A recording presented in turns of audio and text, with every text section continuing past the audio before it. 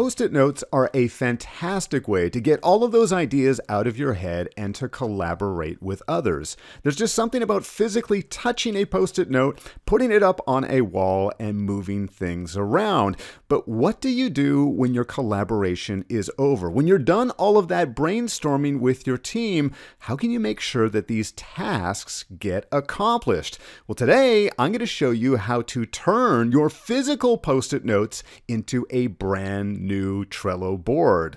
Are you ready? So let's get started. First things first, let's select the Post-it app on our device. Now you can see I've got a few sample projects here already, but I want to start a new one. So let's select that plus button down below, and then we want to select the camera icon. This is going to allow us to view all of our post-it notes through our camera, make sure everything's within range, and then select that camera button for just a few seconds. And there we go. We have now captured all of our paper post-it notes. So now that we've captured the post-it notes directly within the app, the first thing that we're going to want to do is see if there's anything here that we don't want to keep. You can notice that there is a green check mark on all of the post-it notes, but I've got one here in the corner called New Project, and that's not really a task. It's not really a card I want to include. So if I select that one, it's going to zoom in and I can select the delete or the trash button there. And what it does, you can see that that check mark is now removed So now when I create this board, that one will not be included. The other thing that I may want to do just before creating the board is at the top, I can give this a new name. So I'm just going to call this one uh, Team Tasks. All right, I'm going to say done and then select the create board. And here we are. Now I've digitized all of my post-it notes. It's still in my own handwriting, which can be important, especially if you are drawing some diagrams if you've got some things that are not necessarily text-based and you want to keep that within your project. So there's a few things that we can do here. If I select the name of this project, if I just select team tasks, I can either rename it at this point, but you can see that there are three different organizational um, options here. Let me click off of this for just a second. Now I can click and hold and start to drag um, these uh, uh, post-it notes around if I want to, right? I can rearrange them here in real time if I uh, if I need to. But if I select the name at the top, I can select the grid option here, which is going to put things back into a grid format. I can go back to the original if I want to. The last one is going to put it into uh, sort of an orderly fashion, just in sort of a, a linear fashion here. But let me go back to that first one here because I'd like to keep things in roughly the order that I captured them in first.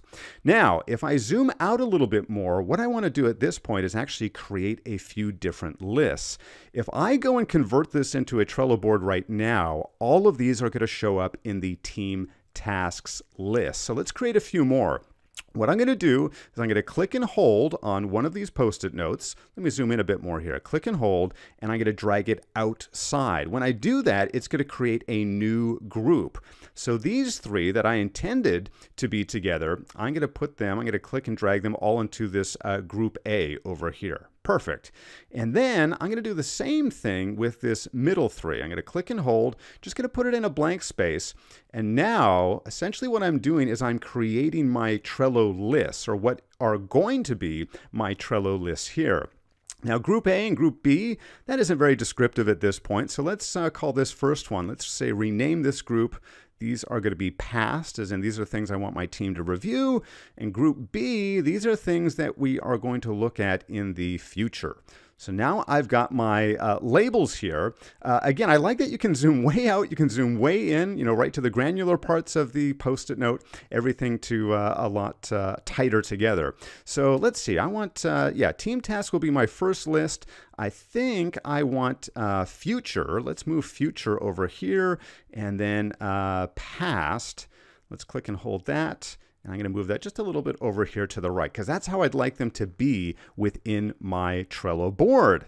At this point, we want to go up and click the share icon. We click the share icon, and there's a few different ways that you can share within the Post-it app uh, through either PDF or create an image. You can go directly to some uh, Microsoft apps as well. But of course, we want to choose Trello. So we're going to select Trello.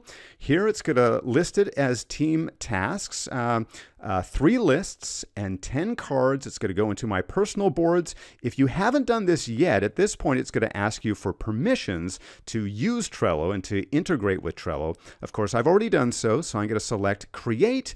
It may take just a few seconds. And then let's open up our Trello board. And now within Trello, we have the exact same project that I started on within my board. Everything that I brainstormed with my team, everything that I was working on, I now have a digitized format. And of course, like we can always do in Trello, we can click and drag, we can move things around. If I open these up, I can immediately start to add due dates or a checklist or notes or everything else that we typically do within Trello.